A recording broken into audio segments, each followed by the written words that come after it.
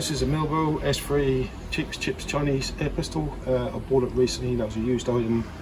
That was a piece of poo. Um, so I took it to bits, cleaned it up, made some bits for, put it back together, shot it, but it's still same. So well, I feel a bit better. Um, what I done, um, I made a new seal for the breech.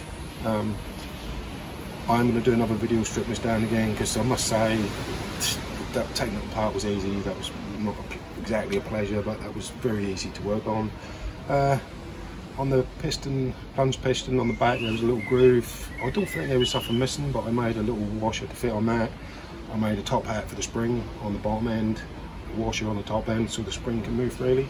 So it's all, it's all pretty tight and nice, but what I found was um, when I shoot a pellet out of it, if I don't push the pellet down a bit through the barrel, um, the foot pound is, is, just ridiculous. Now this is only a one and a half foot pound gun anyway, so I'm just gonna check now. Yeah, so see what we get out of that.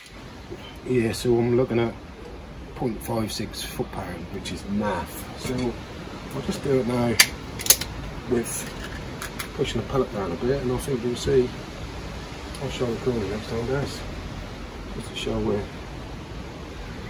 seemed really tight in the top and I tried filing it and I still feel tight now so I don't know whether that's the pellets or or I don't know so can you see that on camera Dennis? Yeah. Let me see, Yeah. Half a foot pound, velocity 171. So I say this is a this is a one and a half foot pound gun. So what I'm gonna do, as I originally bought this gun for playing darts, um, reason being it's cheap as chips and these darts tend to um, you take your rifle off your barrel. So uh, what I'm going to do I'm going to weigh this um, and I'm going to see when I try this in the barrel that's fairly loose. So I'm going to say is it is it projectile or is it the gun am I going to have to drill that top bit out? I don't know. So we've got 12.8 grain. So I'll just enter this into the chrome now it's quite heavy for a 177 air pistol. Um, we've done a video reviewing these darts previously, so if you're interested in these darts, what size was that? 12 point what? Oh, I can't remember. 13.7 actually. They went zeroed. So I'll put the weight in the chrony. Um,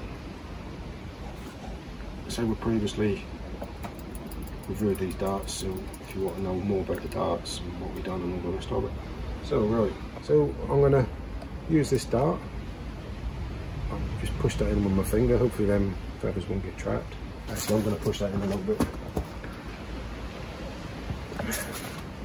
Push that in a little bit just to make sure there's no feathers hanging out. And we'll try this through the chromie and see is it, is it the projectile or is it something else? 0.19. Yeah. Yeah, that's just the weight of it is. Oh, I stuck all the way in, so that's 0.2 foot pound. That's rubbish, isn't it? Yeah. Let me try pushing it down a bit more. There's something, something up right with this.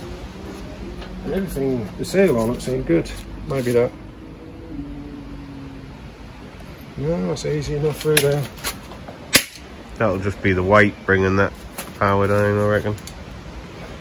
I think maybe that's the seal in the, in the top there, maybe. Maybe the first.